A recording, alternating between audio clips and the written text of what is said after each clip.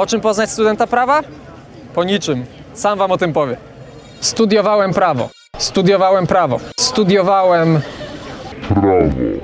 Studiowałem prawo. Ale już nie studiuję i w tym filmie powiem wam dlaczego. Studia prawnicze uznawane są za jedne z najbardziej perspektywicznych i prestiżowych, ale to, o czym się nie mówi, to to, że te studia nie są dla każdego i nie każdy się na te studia będzie nadawał. Bardzo często osoby podejmujące studia prawnicze mają wobec tych studiów określone oczekiwania, które niestety w ramach tych studiów nie są zaspokajane. I dzisiaj w tym filmie chciałbym Wam opowiedzieć historię osoby, która teoretycznie powinna się na te studia nadawać, ale wyautowała się z tych studiów bardzo szybko i to z niemałym hukiem. By sięgnąć korzeni sytuacji, o której dzisiaj sobie tutaj rozmawiamy, musimy się cofnąć do czasów liceum. Jeżeli miałbym określić swoją postawę z tamtego okresu, to najlepszym określeniem byłby per pożyteczny kujon. Jest to taka osoba, która mimo tego, że oddaje się wielu różnym aktywnościom i nie ma problemów z nauką i poświęca jej odpowiednią ilość czasu, to niezbyt te aktywności są nakierowane na jakiś konkretny cel. E, No i ta osoba też nie odpowiada sobie na jedno bardzo, ale to bardzo ważne pytanie, znane między innymi e, z filmu Chłopaki nie płaczą, co lubię w życiu robić, a potem zacznij to robić. E, I tutaj tego pożytecznego kujona można też przyrównać do postaci człowieka w grach RPG. Jeżeli mamy osoby, które grają w takie gry, to wiedzą, że jeżeli potrzebowalibyśmy łucznika, to lepszym wyborem, najlepszym wyborem będzie elf. Jeżeli potrzebujemy wojownika, to krasnolud czy ork. A człowieka nie wybierało się nigdy, dlatego, że miał on równe statystyki i był tak, tak naprawdę od wszystkiego, czyli tak naprawdę do niczego.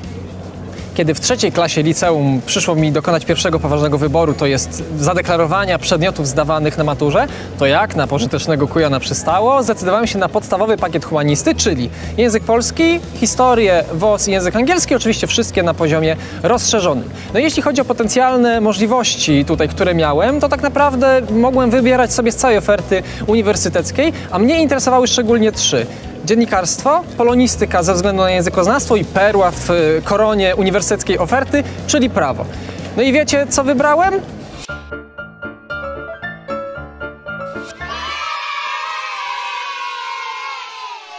Wybrałem oczywiście prawo jako najbardziej rozsądny ym, tutaj kierunek. Jeśli chodzi o dziennikarstwo, no to chyba wiadomo, lubiłem pracę z mediami, myślałem, że może w tym temacie coś będę chciał zrobić. W przypadku polonistyki chodziło mi bardziej o językoznawstwo, ale dwa powody ym, były takie, które mnie odwiodły. Po pierwsze, nie chciało mi się czytać książek na czas, a po drugie, perspektywa zostania profesorem Miotkiem i lepszego tostowania złota była mniej tutaj prawdopodobna. Wybrałem prawo, bo był to kierunek, ym, który wydawał się najbardziej racjonalny i miałem jeszcze jedną motywację. Wiecie jaką? To, żeby jako prawnik móc chodzić sobie na co dzień do pracy w garniturze elegancko ubranym. Serio. Pamiętam ten dzień jak dziś. 1 października, uroczysta inauguracja roku akademickiego, aula w gmachu głównym uniwersytetu. E, I mm, wszystko dzieje się właśnie w takiej podniosłej atmosferze. E, Jest obecny dziekan, wszyscy na sali, i nagle się okazuje, że moje nazwisko pojawia się wśród trzech osób z najwyższym wynikiem e, właśnie rekrutacyjnym tutaj na studia prawnicze. Myślę sobie, cholera jasna, moment, przecież ja byłem siódmy, sprawdzałem to bardzo dobrze, jeszcze dzień wcześniej. No ale też się złapałem na tym, że przecież ja też składałem papiery nie tylko do Wrocławia, ale także do Warszawy do Krakowa i też dwa miejsca zwolniłem, więc prawdopodobnie było tak, że te osoby, które były przede mną, zrezygnowały ze studiów we Wrocławiu i podjęły je gdzieś indziej. No i co? I wychodzę i jako właśnie ten jeden z trzech naznaczonych już na starcie dostaję zestaw tak, 10 takich oto kodeksów, które wiecie co? Zezaktualizowały się jakieś kilka miesięcy po tym, kiedy je otrzymałem do ręki. Cóż zrobić? Taka branża.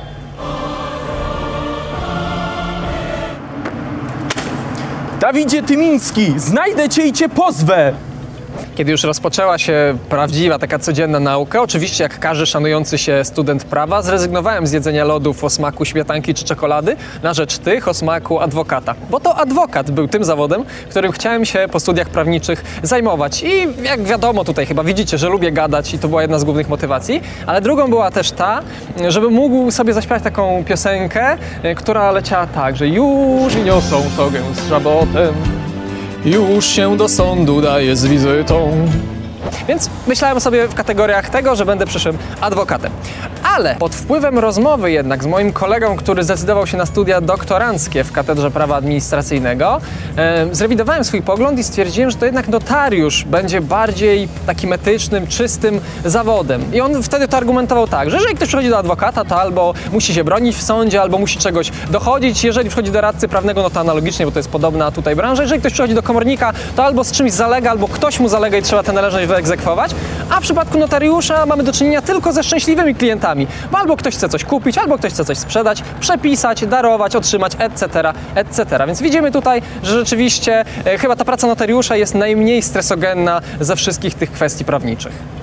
Jak już Wam wcześniej wspominałem, w czasach licealnych byłem pożytecznym kujonem i jakoś studia nie za dużo zmieniły w tym, w tym temacie. I jakby się mogło wydawać, taka osoba, która e, uczy się w lot wszystkiego, nie powinna mieć problemu z nauczeniem się takiej też nowej rzeczy, jaką jest dziedzina prawnicza. I co? I błąd, bo nagle się okazało, że to anglosaskie niebo jednak ma limity i nawet tak, taka osoba jak ja, która w lot włapała każdą kwestię, z prawem zaczęła mieć bardzo dużo, ogromne problemy. Ta materia stawia taki opór, że nie byłem w stanie nic zrobić. To jest bardzo ważne, żeby sobie to uświadomić, że nie zawsze jest tak, że jeżeli ktoś jest bardzo biegły i lotny właśnie w nauce, mm, będzie także w nowej sytuacji się w stanie odnaleźć. Dla mnie osobiście największą zmorą był najbardziej prawniczy z przedmiotów dostępnych na pierwszym roku, czyli wstęp do prawoznawstwa, który jest taką podkładką pod uczenie się innych, bardziej zaawansowanych kwestii. No i można byłoby w takim układzie zadać sobie pytanie, to jak, się stało, jak to się stało, że ty jednak przetrwałeś ten pierwszy rok? Bardzo prosto. E, Studia prawnicze na pierwszym roku są takie około prawne. Jest dużo kwestii historycznych. Jeżeli ktoś zdawał historię rozszerzoną na maturze, to nie będzie miał problemu z tym, żeby e, zagłębić się w historię ustroju, państwa i prawa, e, prawo rzymskie, tego typu kwestie.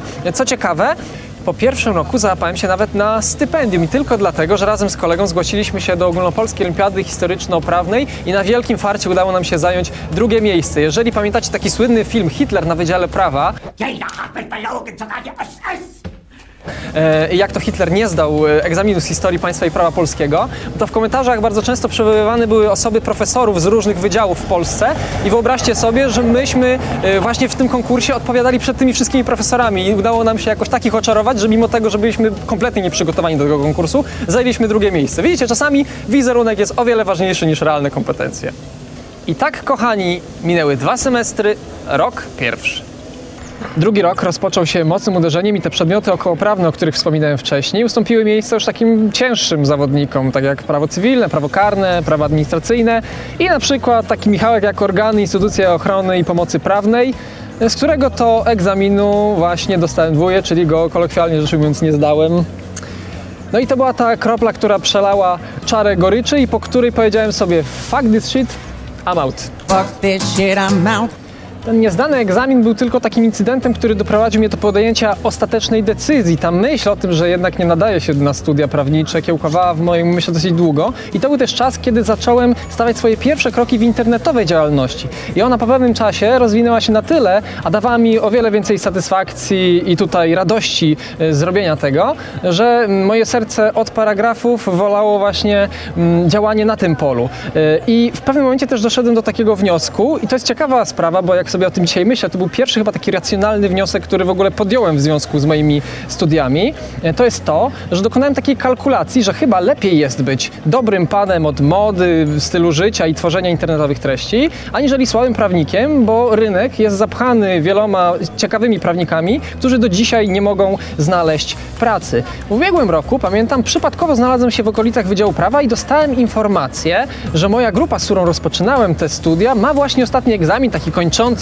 całą ich edukację prawniczą. No i postanowiłem, że jest to dobry moment do tego, aby spotkać się ze starymi znajomymi i pożyczyć im szczęścia na tej właśnie zakończonej prawniczej drodze. I co ciekawe, i to uderzyło mnie, koleżanka Hania przywitała mnie słowami, co Dawid, przyszedłeś się z nas pośmiać i to się może wydawać głupie, jakieś takie dziwne na pierwszy rzut oka, ale kiedy na drugi dzień sobie to analizowałem, no perspektywa okazała się dosyć gorzka i mm, jestem naprawdę przekonany, że część osób, które podjęła te studia, nierzadko rezygnując z jakiejś innej, e, innej drogi życiowej, która mogłaby być dla nich ciekawsza i, i taka bardziej perspektywiczna, e, m, zdecydowała się na prawo, żeby właśnie tę perspektywę sobie uprestiżowić i żeby ona była lepsza, tak? Ale po pięciu latach oni nadal nie wiedzą, co chcieliby po tym prawie robić. Nierzadko też część osób mówi, że z prawem po tych studiach nie chce mieć nic wspólnego. Prawdopodobnie ze względu, że nie mieli tych predyspozycji i możliwości, o których mówiliśmy sobie na początku tego filmu. Warto też sięgnąć do statystyk. Specjalnie wszedłem sobie na stronę Ministerstwa Sprawiedliwości I zobaczyłem, że co roku Wydział Prawa e, opuszcza kilkanaście tysięcy studentów. Około 8 tysięcy studentów bierze udział w egzaminach na aplikację, kończy je z pozytywnym skutkiem około połowa, czyli jakieś 3,5 tysiąca do 4 tysięcy. Wydziałów prawa publicznych w naszym kraju mamy 20 parę. One, każdy z nich y, przyjmuje na każdy rok około y, kilkuset studentów w zależności od wielkości tego wydziału i to są naprawdę ogromne rzesze prawników. I niestety sytuacja rynkowa, sytuacja rynkowa wygląda tak, że nawet te osoby, które realizują się w tym temacie mają często problemy z, ze znalezieniem pracy. No to co dopiero y, z takimi osobami, które tego tematu w ogóle nie czują i nie mają do niego tego serca. E, I tutaj warto byłoby wspomnieć słowa, mm, e, słowa Alberta Einsteina, e, który mówił, że jeżeli ryba miałaby rywalizować z małpami e, w, tutaj we wchodzeniu na drzewa, to przez całe życie nabrałaby takiego przekonania, umarłaby e, z taką myślą, że była głupia, tak? I oczywiście Albert Einstein tego nie powiedział, bo jak Abraham Lincoln e, powiedział przed spostrzeleniem tutaj przez zamachowca, że nie powinno się wierzyć we wszystkie rzeczy, które usłyszymy w internecie, to myślę, że ta perspektywa ma swój głęboki sens.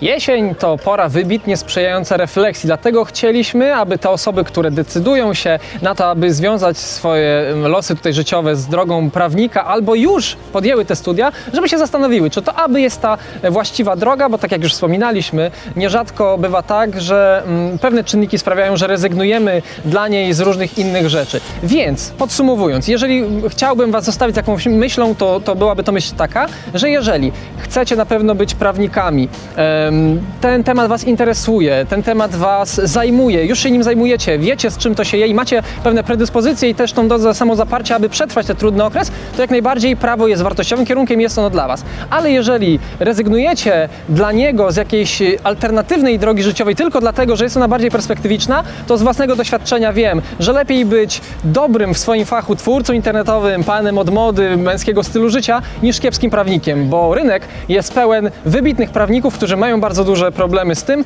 aby znaleźć godną pracę. I z tym właśnie chciałbym Was w dzisiejszym filmie zostawić. Trzymajcie się ciepło i do zobaczenia.